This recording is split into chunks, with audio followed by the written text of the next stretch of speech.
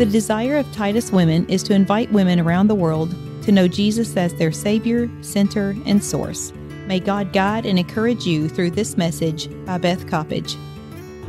Then Joshua rose early in the morning, and they set out from the acacia grove and came to the Jordan, he and all the children of Israel. And they lodged there before they crossed over.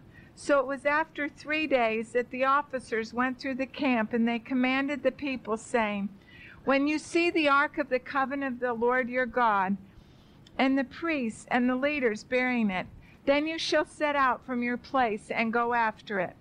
Yet there shall be a space between you and it about two thousand cubits my measure.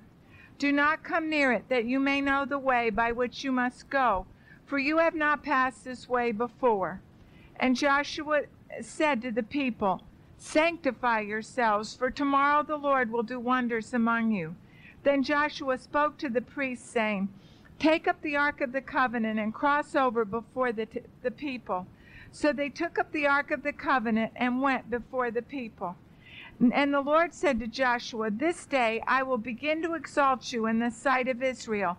They, they may know that as I was with Moses, so I will be with you. And you shall command the priests who bear the ark of the covenant, saying, When you have come to the edge of the water, you shall stand in the Jordan. So Joshua said to the children of Israel, Come here and hear the words of the Lord your God. And Joshua said, By this you shall know that the living God is among you, and that he will without fail drive out from before you the Canaanites, the Hittites, the Hivites, the Perizzites, the Girgashites, and the Amorites, and the Jebusites. Behold, the ark of the covenant of the Lord of all the earth is crossing over before you into the Jordan. Now therefore take from, for yourselves twelve men from the tribe of Israel, one from each tribe. Uh, and it shall come to pass as soon as the soles of the feet of the priests who bear the ark of the Lord shall rest in the waters of the Jordan, that the waters of the Jordan shall be cut off, and the waters that came down from upstream, and they shall stand in a heap. And let's go down to 15. And as those who bore the ark came to the Jordan, and the feet of the priests who bore the ark dipped in the edge of the water, for the water of Jordan overflows its banks during the whole time of harvest, that the waters which came from the up, upstream stood still and rose in a heap very far away at Adam, the city that is beside Zaretan. So the waters that went down into the sea and the Arabah, the salt sea, failed and were cut off, and the people crossed over opposite Jordan. Then the priests who bore the ark of the covenant stood there on dry ground in the midst of the Jordan, and all Israel passed over on dry ground until all the people had crossed completely over the Jordan. And let's read a couple verses in the next chapter. And it came to pass when they had completely passed over that the Lord spoke to Joshua Take twelve men from your tribes, from the people, one from every tribe, and command them, saying, Take for yourselves twelve stones for here out of the midst of the Jordan, from the place where the priest's feet stood. You shall carry them over, and you shall leave them in the lodging place where you lodge tonight. And then, if you will go down um, to verse 5, uh, it says, uh, cross over before the ark of the Lord your God into the midst, and each of you shall take a stone, according to the number of the tribes, that this may be a sign among you. When your children ask in time to come, say, What do these stones mean to you? From then you shall answer them that these waters of the Jordan were cut off before the ark of the Lord. When it crossed over the Jordan, the waters of the Jordan were cut off, and these stones shall be for a memorial to the children of Israel forever. Verse 9 Joshua set up the twelve stones in the midst of the Jordan, in the place where the feet of the priests who bore the ark of the covenant stood, and they are there to this day. Father, we just pray today you might come. And Father, we just ask that you might come with your Holy Spirit now. And Jesus, thank you that you're here, that you want to come and meet our needs, and we ask that you might. Pray you might anoint the word by the power of your Holy Spirit, that you might push back any enemy of the, any activity of the enemy, even today, and that, Lord, our thoughts might be quieted and centered on you, and you might say to our hearts today what only you can say. I pray, Father, for your peace in me. Create in me a clean heart, O God, and renew a right spirit within me. And Father, say to us what you want to say even today. In Jesus' name, amen. I'd like to take this and begin to look at it, just beginning verse by verse. I think there's some tremendous things in this chapter, and I sense a resistance from the enemy for even getting started this morning. So I just pray that the Lord would just come and meet with us in spite of that. Eh, so Joshua rose early in the morning, and they set out from and came to the Jordan. And it was after three days that the officers went through the camp and commanded the people, When you see the ark of the covenant of the Lord and the priests bearing it, you shall set out from this place and follow them. So Joshua gets up early in the morning, and they have been waiting for three days before going into the promised land. One of the blessings of their waiting was that who was saved in those days that they were waiting? They sent out the spies and waited upon God. And last week we heard that Rahab was saved and all her household.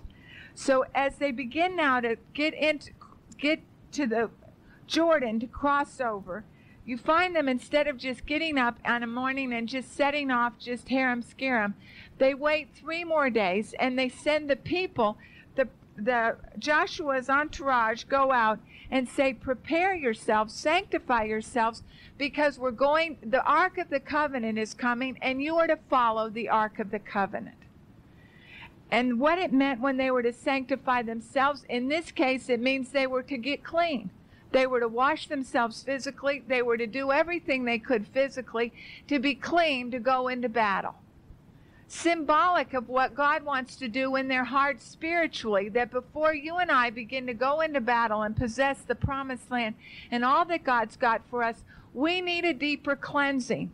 We need God to do on the inside what only He can do. But they were to do on the outside. They were abstained from sexual relations for those three days. They were to get cleaned up physically, and they were to get ready to follow the Ark of the Covenant. Now, what is the Ark of the Covenant? The Ark was a rectangular box covered with gold. Two cherubim were over it, and it was symbolic of the presence of God the most important possession that was in the Israelites' camp. It was symbolic of God's presence and power. Inside the ark were three things a jar of manna, God's provision for the Israelites' daily food for 40 years while they tramped around the desert. The second thing is the rod that was the symbol of his protection 40 years in the desert. The third thing was the were the 10 commandments the symbol of his word, where God revealed himself to his people. So that those were the three things symbolic of God's presence and his longing to be involved with his people. So, as the Ark of the Covenant went before the people, they were not to go and all just clamor around it. There was a sense of awe. So they were to follow behind it, but they were to go forward and follow the Ark of the presence of God. So that's what just what happens. The people get themselves ready and then the ark goes. Now God fights his battles in unusual ways. He doesn't send in the troops first. Who does he send in? He sends in the ark of his presence and then he sends in the preachers. Because what he's doing is he's going into spiritual warfare not only on a physical realm. The people here that lived here, the judgment of God had come upon them because, and it said, God prophesied it way, he told Moses, he said, 400 years your children will be in captivity. Then they'll be let, set free from Egypt. Then they will wander for 40 years. And then I will let them go into the promised land. Because by that time, the fullness of the Amorite sin will have come together and it will be time for the judgment of God. And you and I are foolish if we believe that we can go so long and sin against God and sin against God and sin against God and that ultimately the judgment of God will not come. And as a society, we are foolish. And the same things that God's judgment came upon the Canaanites for, these seven tribes, these seven um, different national groups that were in the Palestinian land, the same sins that He judged them for, as you and I look at what they were judged for, these are the current today in our culture homosexuality, uh, um, um, sodomy, pornography, violence, abortion they used to have orgies where they burn and sacrifice babies and children and then have sexual orgies in front of them. That's what it meant to worship Baal. And God said, The judgment has come upon them. I will not stand for that any longer.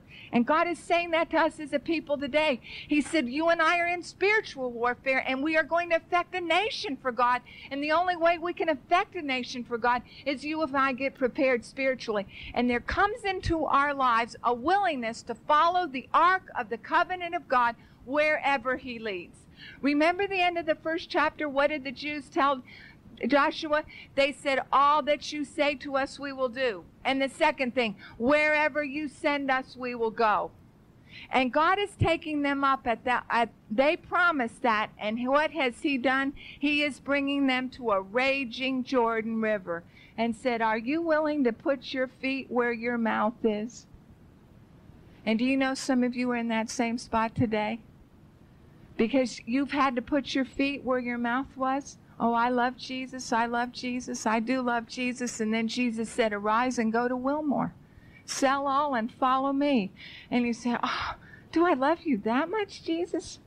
And then you've gotten here and you've said, Lord, there should be something really special for me here because of my willingness to come. But this does not look like it's special. Do you know what Amy Carmichael said? She said sometimes God's choicest presents come in lumpy brown parcels. And that's not what we want. What we want is a Christmas present, all wrapped like they do at McAlpin's, big bow and beautiful paper, and say, Oh, I'll receive that from you, Jesus. But when it comes in a lumpy brown parcel, we say, This was not in my job description. This is not what I intended. And Lord, I do not think I want this. But if you have begun to walk with God over and over again, do you know what you'll see? That those lumpy brown parcels that you cannot understand why God's brought them into your life at this point in time, if you will embrace Jesus in this in that midst of that lumpy brown parcel, you will find there is a sweetness there and there is a sense of his presence. And when you come through the trial or temptation or tribulation, you will know him in ways you would have never known him if he had given you a Christmas present wrapped in McAlpin's wrap. So what does he do? He leads the people of God down to the Jordan River. Now God could have led it led them down there when it was it was during the drought and it would be smaller and they could have marched over. But God didn't see fit to do that because you know what God was trying to do? He was letting them face an absolutely impossible situation. It was at flood tide, and the waters roared through the Jordan. And there was no way that they could get across that Jordan until they waited till it was drought. And God said, I've called you to go over to that western bank and conquer that land and I want you to follow the ark of my presence. And when the priests dip their feet into that water, it will part and you can go over on dry ground. So they got on march to an, already, two and a half million people following the Ark of the Covenant, and they got within a hundred yards of the Jordan River. But still a raging torrent. They got within 50 yards of the Jordan River still a raging torrent. Got within 25 yards, still a raging torrent. And then they thought, oh my Jesus, are you sure we want to cross here? And what was happening at that point? Got to within 20 yards. Lord, you know, we may not live if we go in that. Well, you've got to trust me. Well, Lord, Lord, you, Lord, isn't there some other way? Couldn't we just wait no, just trust me, and you're not quite there yet. I said if you get there and put your feet in the water, it'd part. Lord, isn't there any other easier way? Because we might die. And he said, You might die, but are you willing to trust me that I can take care of you and that I will do what I promised to do to bring you to the other side? Do you know, Lord, that's an awfully big river and those waves are very high. And you know, I've got these five little children and you know, you wouldn't want them. You know, Lord, do you know what you're doing, Jesus? Have you ever said that to him? I have. Do you know what you're doing? It's absolutely impossible, God, and I don't want to go through that. And maybe it's a surgery like Holly's facing. Maybe it's it's what to do about your uh, your career that you've had to put on hold. Maybe it's what to do about your finances. Maybe it's what to do with a difficult child or difficult marriage or difficult situation. And you said, "Lord, I am bankrupt. It's utterly impossible." And he said, "Will you follow me through that river?" And do you know what that river is symbolic of? That river is symbolic of you and I coming to grips with the eternal God and saying, Yes, God, I will follow you even if I die. And coming to grips to say, Yes, yes, yes, yes, yes. No matter what it costs, no matter what it takes, I will go through the river. And do you know what you leave on the one side? You leave your life of self effort. And when you get to that point, you say, Yes, I will abandon everything and go through the river in the name of Jesus Christ. And if I perish, I perish. You will go up on the other side of the river and you will be cleansed and sanctified, holy, hook, line, and sinker. And do you know what God is looking for? He's looking for women who will have the courage to say yes to an eternal God. And the reason we don't say yes is we do not believe God is good. We don't trust him. We're afraid of him. And we think, I alone am able to take care of my life. My husband can't do it. No one else. I've got to look out for number one. And we spiritualize it, but the bottom dollar is still, I need to be in control. I will cover it with all kinds of spiritual gibberish, but I need to be in control and I will not surrender my will. And we surrender it at different levels. But when we get right down to putting our feet in that Jordan and walking across, following nothing more than the ark of the presence of God out of obedience to Him, it is terrifying. I read this week, one of the commentaries I'm using for Joshua is by F.B. Meyer. And F.B. Meyer was a terrific preacher in England. And it was about a hundred years ago, and he was a very good preacher. But one day he went to hear seven men that, the, that history is called the Cambridge Seven that were called to China as missionaries. And they were not just average people in the English um, society of a hundred years ago. They had all been to Eton and Cambridge, and they were all at Cambridge University, and they were from the blue bloods of England. In fact, one of the men was C.T. Studd, who was the most famous sportsman in all of England, like O.J. Simpson without the criminal record, and so or the criminal release. but with but he was everybody in England knew C.T. Studd. He was a very wealthy man. He gave away all his fortune, and then he said, "I'm called to China," and he went out with these seven other blue bloods to China. Before and the whole nation was in shock. Well, before he left, he spoke one night, and F.B. Meyer, this fine preacher, went to hear him. And he said he couldn't remember so much as what he said as what he sensed in his life what that here was a man who was entirely abandoned to Jesus Christ. He had held nothing back. It was all God's. So after a word, he went up to him and he said, What you said really moved me. And he said, I'm just wondering, I think I need something new in my life. And C.T. Studd was very blunt and he looked him straight in the eye and he said, Have you surrendered to Jesus Christ 100%? And he was a preacher. So he looked right back at him and said, Oh, yes, I have. And the Holy Spirit of God talked to F.B. Meyer and he said, Oh, no, you haven't. and he went home and he left that man shaken. And he went home and knelt down by his bed and he said, God, and God said, F.B. Meyer, you have no more surrendered every key of your life to me than the man in the moon. He said, I want every key in your life. Every one. And then F.B. Meyer said, Okay, Lord, okay. I'm a preacher. That's what you're supposed to do if you're in full time Christian service.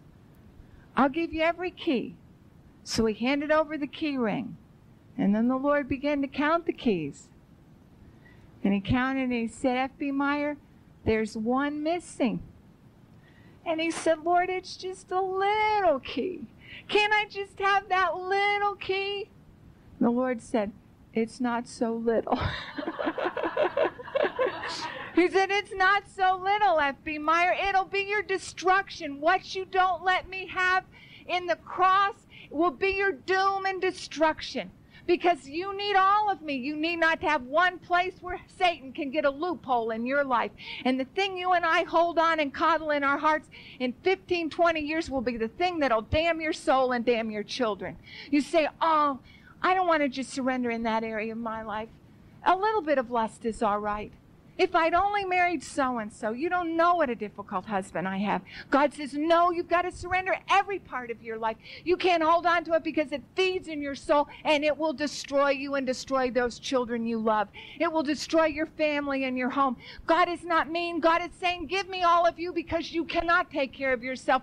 Only I can take care of you. You are going into a promised land, but you are also going into land where there are forces of evil at work that seek to damn and destroy. And we only fool ourselves if we think any other way. And so F.B. Meyer knelt there that day and he said, Lord, I give you the last key. I give you all of me for all of you. And do you know what? He went from being a fine preacher to being a great preacher of the gospel. And I'm reading his, reading his commentaries to get ready because there came a day when he let the Holy Spirit have all of his life, and the power and impact of that still touches people today, such as myself. I read another story where a man was wrestling with a call to really surrender everything to the Lord, and he was under such conviction that he was a preacher as well he actually fell down the stairs and he cried up and said, Oh Lord, anything. And the Lord answered back and said, Brown, not anything, it's everything. That's what I want, everything. And do you know that's the crux of the gospel? Because that is where the cross comes in. We are willing for anything but the cross. Lord, I'll serve you as long as I don't have to come to grips with the cross. But the essence of true Christianity that is radical and changes your life and my life and the world in which we live is when we confront the cross and say, Jesus, I will to die to, so that your life might be raised in my life. I am crucified with Christ. Nevertheless, I live, yet not I, but Christ liveth in me. And the life that I now live, I live by faith in the Son of God who loved me and gave himself for me. Are you at the Jordan today? Are you tired of the way you're living in your Christian life? Do you long for God to do something more in your life so that there's more consistency, there's more dependability, there's a sense of joy in your relationship to God, that Jesus is your sweetest, dearest, most precious friend? You can have all that. But the secret of it is if you will come to the Jordan and say, Jesus, I am willing to die to the sin and self in my life, and I am willing to let you be God inside me. Are you there? Are you there? That is what Wesley called entire sanctification. When you and I come to the place, that is what it means. You give him all of you for all of him. And we don't want to do it. we want to be in control. We want to work for God, but we don't want to really sell out to Him. That's why we have so little impact on the world in which we live. Are you willing to go anywhere Jesus sends you? Are you willing to be whatever He wants you to be? Are you willing to do whatever He calls you to do? We go to a camp meeting in Georgia called Indian Springs, and it's 105 years old. And we live in a house that's probably almost 105 years old. It is very old and it has a pointed tin roof and it has lots of personality. The floor is kind of slant and it's it's just not one that would be in better homes and gardens. The home of one of the men who founded this campground. And his testimony was one day, his name was W.A. Dodge, and he was a preacher in South Georgia. And one day he came to the place, he said, Jesus, I give you my mind, my heart, my soul, my body, my eyes, my hands, my feet, all of me. They found it in his trunk when he died. I give you my wife Mary, my two children, and he named them. I give you my future, my reputation, all that I have, all that I ever hope to be. I give it to you in the name of Jesus. And he signed and dated it. And then he began, God filled him with his spirit, and he began to preach that Jesus could set you free and let you know and experience the freedom of Jesus in your life. Well, he got together with another preacher, three other men, and they said, We need to start something so that we can share what it means to be filled with the Holy Spirit and know what it means to be entirely sanctified. So they went to some property 50 miles south of Atlanta and walked around it and began to pray. And it was Christmas, the day before Christmas, and they prayed all over this property. And then God gave them an inner witness that this was the land. And that's how that camp meeting was founded. Do you know what? They didn't have a clue all that God was going to do in that camp meeting. But do you know what? One day, there was a fruit seller going by that camp meeting, going to Florida, and he had a lawyer in the car with him. And the lawyer was a good Methodist, and he saw that camp meeting sign, and he said, Leave me here and pick me up on the way back from Florida. And that lawyer found Jesus. And you know, the next summer he came back and he brought his wife, and she found Jesus. And the next summer he came back and he brought his two of his five children, and they found Jesus. And do you know who that was? That was my grandmama, my granddaddy, and my daddy. Because there was a preacher, what, 50 years before, who'd said, All of you, Jesus, for all of me. And then he, be, he risked for God. He stepped out and did what only God could do and founded a little camp meeting. And it was out of that camp meeting the spiritual roots of my father's family were birthed. But you know, not only that, there was a dry cleaner in Atlanta who've heard about it and he went down and he had been saved, but he'd never been filled with the Spirit. He got filled with the Spirit and he said to his wife, We got to bring all our kids down here. They got a cottage and brought all their children really count? And do you want to know how to really let my life count for God? It means where you and I let go of the keys and let Jesus be Lord of all with nothing held back. What are we holding on to do today? There's nothing worth it. Because what God wants to do is take all the works of the flesh and replace them with the dynamo of His Holy Spirit so that lives in eternity are different.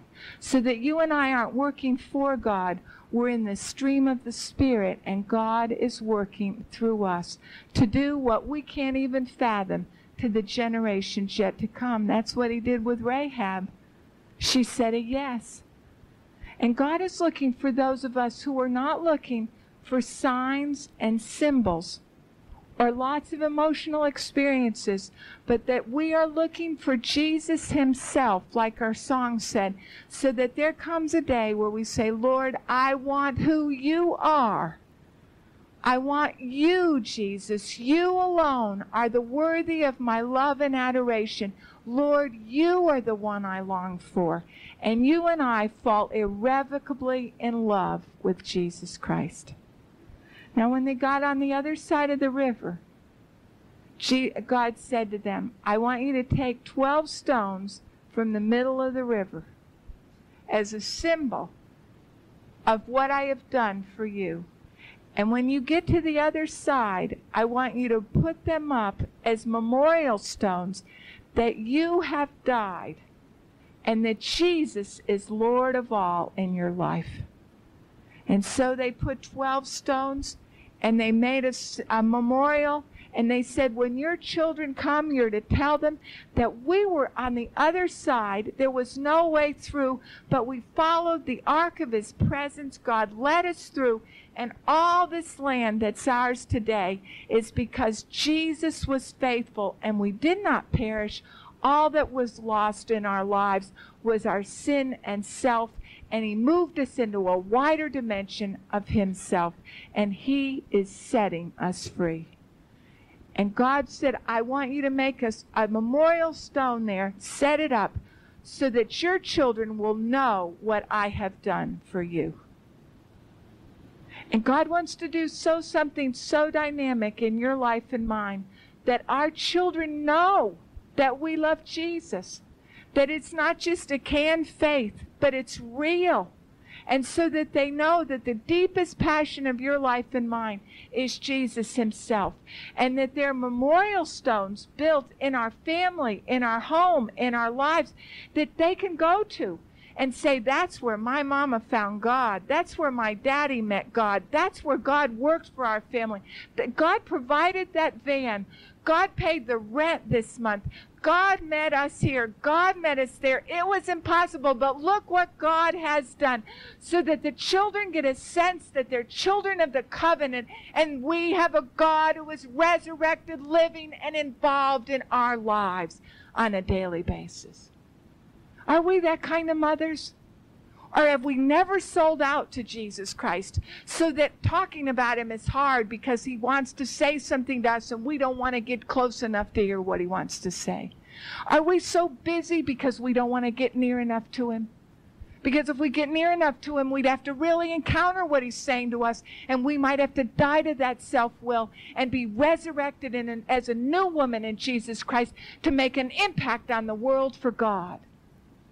And he doesn't need PhDs and XYDs and MDs. All he needs is one available willing vessel. One available willing vessel.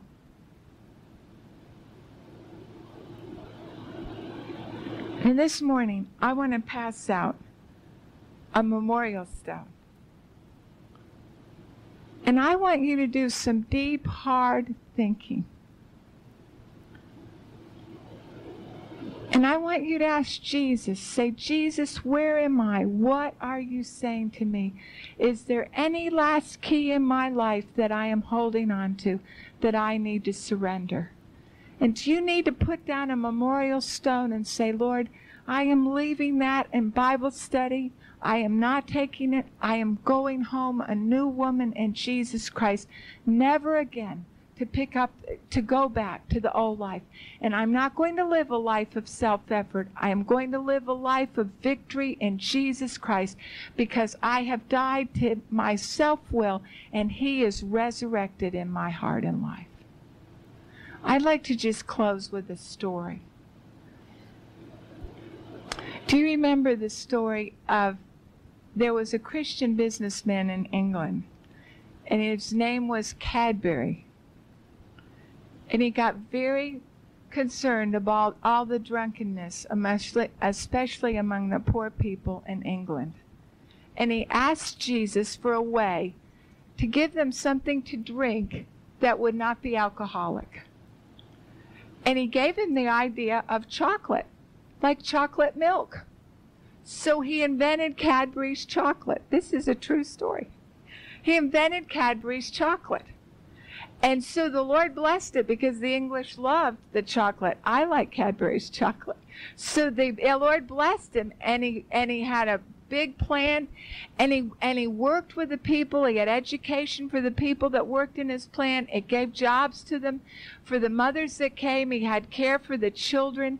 He did visitation. He worked among the um, the ones that were still on alcohol, he used it to get in the, the lost and the needy and the broken and had a tremendous impact on his part of England. Well, he had a little girl. And, and, her, and so she was, her name was Mary, and she was uh, one of, he had nine children, and so he, she, he had Mary was a very precious little girl, and one day she was with him in one of these meetings that was like a rescue mission meeting. And she had known about the Lord all her life, but she had never really sold out to him. He had, she had been saved, but she had never been filled with His Spirit. So her daddy was preaching at this rescue mission. And so she went forward with all the drunks and alcoholics that went forward. And her sister was there and said, You don't want to do that. It's just below our station. And she said, Station or not, I've just got to let God do something new in my heart. Well, she was just a young, she was just a child, but God took all of Mary and filled her with all of Himself. And she became an ardent little soul winner like her father. So she went to school and she took her Bible. And at that time, they mostly had big Bibles. So that's the only. So she took the family Bible and put it on her desk at school to let everybody know. And then she said, if they ask any questions, then I will say it's in the Bible and show it to them. So she began to share with her friends and tell them what Jesus had done in her life. And three or four of the little girls became saved. And then three or four more became. And there began to be a whole bunch of these children that found God all trying to bring their great big Bibles to school. So she said, This is a problem. So she went to her father. He said, They've just come out with something new. And it was a small, like our Gideon New Testament. He said, Let me see if I can't get you one of those. Oh, the little girls were elated. And by this time, there were about 60 of them that had found the Lord. So they gave them those little New Testaments.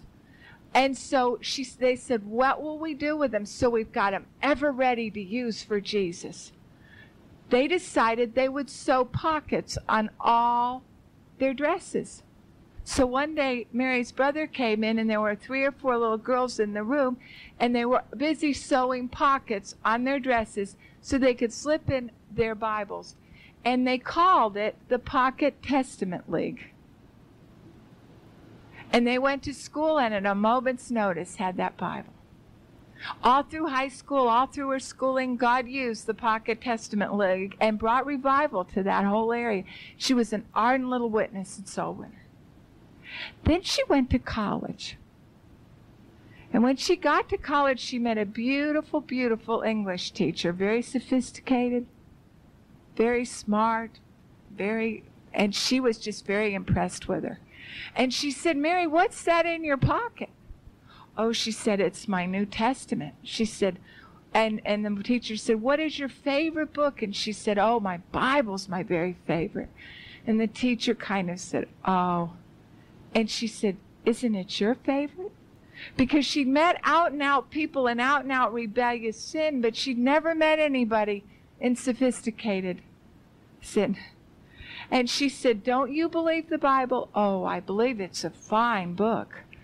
And I believe parts of the Bible. Have you heard that before? But I don't believe all of the Bible. I believe it contains parts of the Word of God, but not all the Word of God.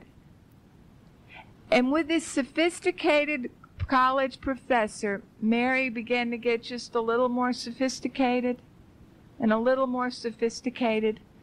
And it began to be that her passion for Jesus left because the inerrancy of Scripture took a back seat.